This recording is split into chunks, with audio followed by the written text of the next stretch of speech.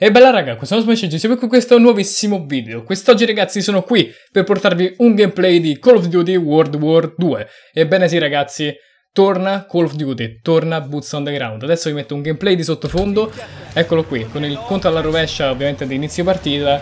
E voi direte, vabbè, come hai preso il gameplay, Samu, come l'hai preso sto gameplay?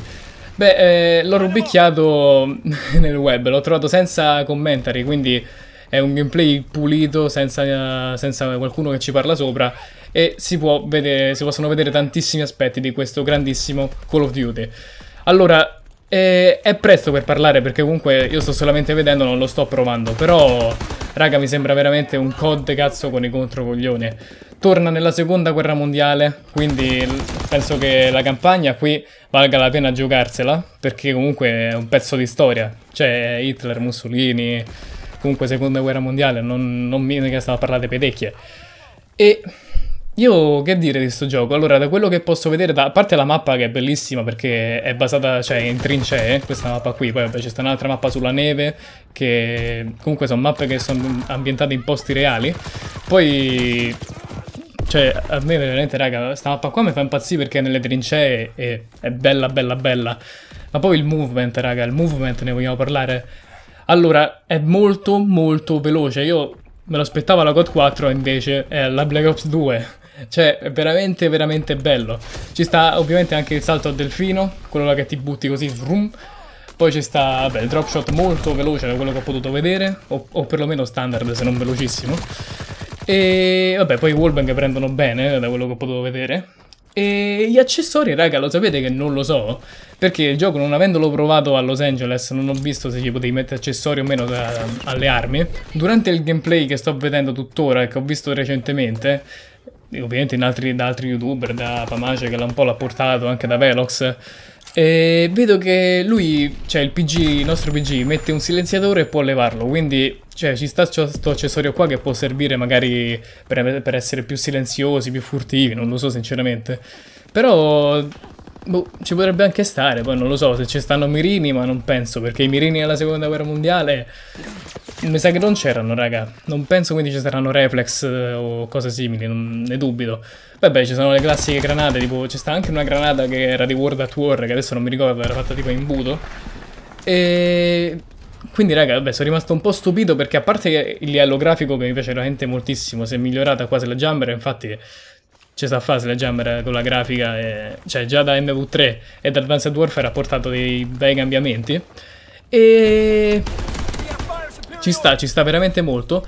Anche perché poi ho visto anche delle streak, che non so se quale tirerà, e che stanno lì a destra infatti.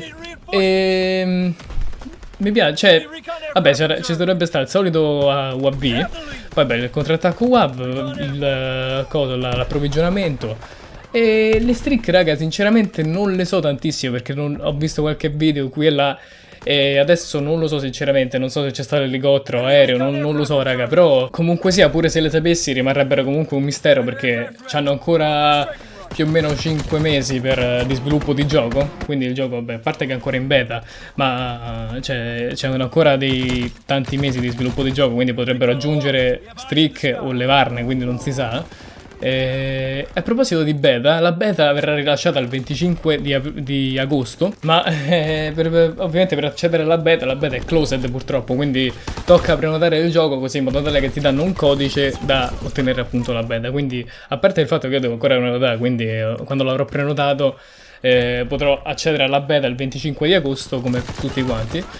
E Raga, questo gioco che vedevo dire? Potrei pure lasciarvi un gameplay, però voglio un po' fare dei commentari mio. E non so manco se mi stai riuscendo perché fa, come ho detto prima, caldo boia. E mi aspetto tanta roba, veramente mi aspetto tanta roba. Ah, e a proposito, ci sta pure Nazi Zombie che devono presentare. Eh, non l'hanno detto alle 3 di Los Angeles, non hanno proprio detto niente dei Nazi Zombie, però Dovrebbe essere una modalità diversa dal solito, quindi non sarà una modalità un po' alla zombie di Treyarch, ma sarà una modalità, una, eh, una modalità tutta nuova inventata da Sledgehammer, quindi se è una modalità survival a me piacerebbe, eh, che è survival zombie, tipo, che mi piacerebbe veramente tanto innanzi zombie. E non dovrebbe essere male, mi piacerebbe una cosa così da giocare, sì, in gruppo, starebbe, non... Però comunque zombie the Treyarch c'è sempre zombie the Treyarch, eh. Quindi vabbè, non si sa ancora niente di questo zombie, però quando si saprà di più sarà tanta roba. E vabbè, niente, poi raga, un altro cambiamento che fa un po' forse storcere il naso, ma diciamo che secondo me è un po' più pulita, è la minimappa tonda, che a me, vabbè, sinceramente non mi dà problemi perché è sempre la minimappa, magari mo l'hanno messa tonda, a me sinceramente mi piace, non, non ci trovo nessuna differenza tra una quadrata e una tonda. Cioè, ci avrà magari qualche... No, boh, a me piace, sinceramente piace. Poi comunque è da provarla e da vedere, però me, sinceramente non, non, mi, non, mi, fa grandi cambiamenti. Ma adesso state vedendo il gameplay, penso un M1.